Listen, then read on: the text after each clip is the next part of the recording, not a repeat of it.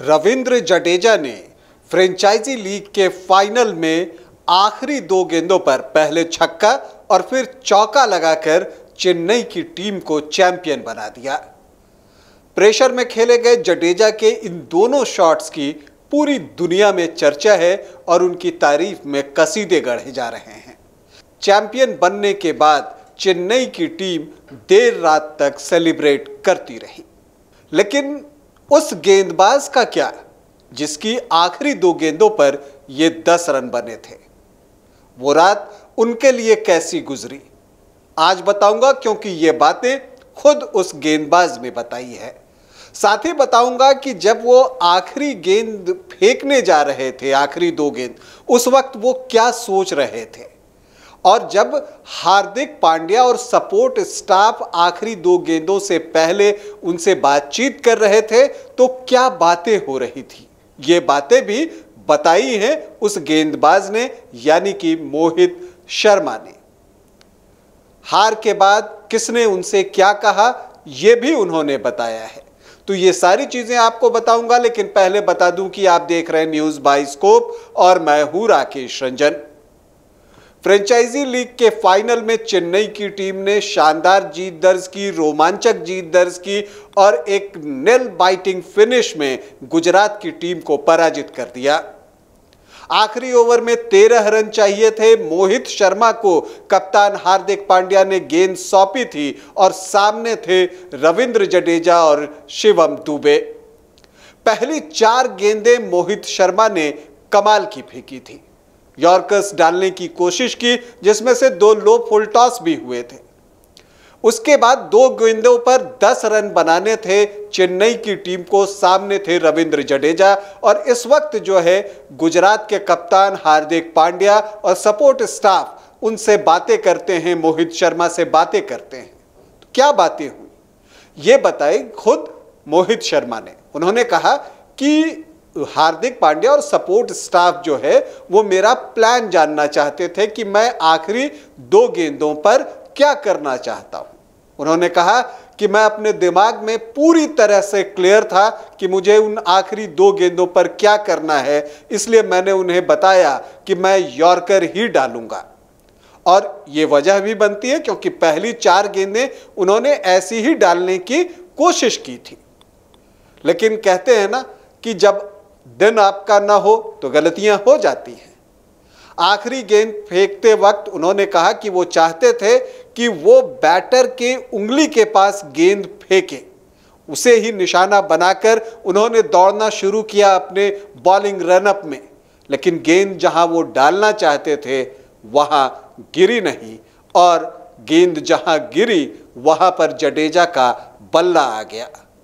और गेंद बाउंड्री के पार गई और चेन्नई की टीम पांचवी बार चैंपियन बन गई। खुद मोहित शर्मा कहते हैं कि इसके बाद जो है, एक निराशा उन्हें हुई ही और ये स्वाभाविक भी है। लेकिन वो कहते हैं कि लोग कहते हैं कि मैं ये गेंद फेंक सकता था, वो गेंदे फेंक सकता था, लेकिन मैं अब भी क्लियर हूँ कि मुझे यॉर्कर ही फेंकने थे। और इसकी वजह भी है, उन्होंने नेट्स पर इसकी काफ़ी प्रैक्टिस की थी कुछ मैचेस में भी उन्होंने ये करके दिखाया था तो ये कॉन्फिडेंस उनके अंदर था और गलतियाँ इंसानों से ही होती हैं और वो गेंद सही जगह पर नहीं पड़ी। वो कहते हैं ना कि एक अच्छी गेंद और ख़राब गेंद में कुछ सेंटीमीटर या कुछ इंच का ही तो फ़र्क होता है, और वही हुआ। खैर, जब टीम हार गई, उसके बाद आप जानते हैं कि फ़ील्ड से ड्रेसिंग रूम की जो दूरी होती है, वो कितनी अधिक बढ़ जाती है। लगता है पैर आगे नहीं बढ़ रहे और ड्रेसिंग रूम पहुँचना है।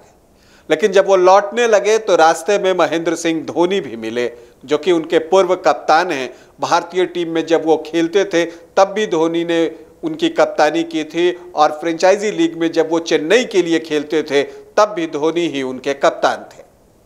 धोनी इस स्थिति को समझते हैं।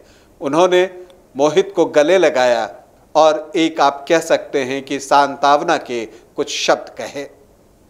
वहाँ से लौटकर मोहित शर्मा ड्रेसिंग रूम पहुँचते हैं, निराश थे, एक कोने में बैठ जाते हैं। सोच रहे होते हैं कि क्या कुछ हुआ। तभी वहाँ पर आशीष नेहरा आते हैं गुजरात के कोच और वो कहते हैं कि आप जो बेस्ट कर सकते थे, आपने वो किया, आप उसकी चिंता न करें। इसके बाद भी वो बातें तो हो जाती हैं, लेकिन चीज़ें दिमाग में घूम रही होती हैं मोहित शर्मा के। पूरी रात, उस रात के बारे में वो बताते हैं कि पूरी रात मैं सो नहीं पाया।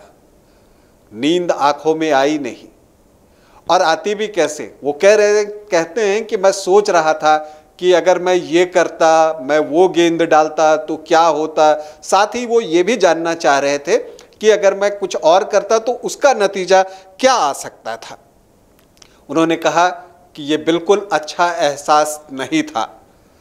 कहीं कुछ तो कमी थी, लेकिन मैं आगे बढ़ने की कोशिश करता रहूँगा। ये बातें उन्होंने कही और उन्होंने कहा कि जो गुजरात की टीम ने उन्हें चुना तो आप जानते हैं कि वो कहते हैं गुजरात की टीम में चुने जाने पर कि मैं कहीं नहीं था जब इस टीम ने मुझे चुना। मैं बिना किसी उम्मीद के यहाँ आया था और कड़ी मेहनत कर रहा था। मुझे नहीं पता आगे क्या है, लेकिन मुझे अपने सफ़र में मज़ा आया। तो मोहित शर्मा से यही कहना चाहूँगा कि जो आपने आखिरी लाइन कही कि आपको सफ़र में मज़ा आया तो बस यही चीज़ आपको करनी है पूरे क्रिकेट खेलते रहिए, उसे एंजॉय करते रहिए और क्रिकेट में कोई एक टीम जीतती है, कोई एक टीम हारती है, कोई ख़राब खेलता है तो दूसरा कोई अच्छा खेलता है। ये क्रिकेट का नियम है और इसी के भरोसे क्रिकेट आगे भी बढ़ रहा है। अगर सारी गेंदें आप अच्छी डाल ही देंगे तो कोई बैटर तो कोई रन ही नहीं बना पाएगा। तो इसलिए ये इन चीज़ों को उसी वे में लेने की ज़रूरत है और जो आपने वो बातें कही कि मैंने अपनी कोशिश की और अपना सर्वश्रेष्ठ प्रयास किया। तो वही बात है कि आप कोशिश करते रहिए और अपना सर्वश्रेष्ठ प्रयास देते रहिए। आपका भविष्य अभी भी है, आप फिर से टीम इंडिया में वापसी कर सकते हैं। और जिस तरह का प्रदर्शन आपने इस फ्रेंचाइजी लीग में किया है, आपने 27 विकेट लिए हैं। आपको बता दूँ कि मोहित शर्मा ने इस फ्रेंचाइजी लीग में 14 मैचों में 27 विकेट लिए हैं। जो आप कहें कि जो पर्पल कैप विनर है मोहम्मद शमी, उनसे सिर्फ़ एक विकेट कम है, जबकि शमी ने मोहित शर्मा से ज़्यादा मैचेस खेले हैं। तो कमाल का प्रदर्शन रहा है मोहित शर्मा का। उन्हें मैं भविष्य के लिए शुभकामनाएँ देता हूँ और आपसे इजाज़त चाहता हूँ। अनुमति दें, नमस्कार। वेलकम टू चाचा मामा दंगल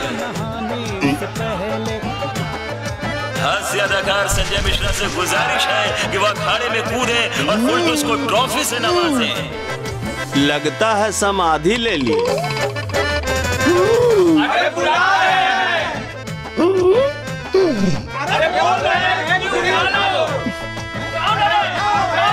टॉप टेक सीमेंट जो जोड़े तो छोड़े नहीं।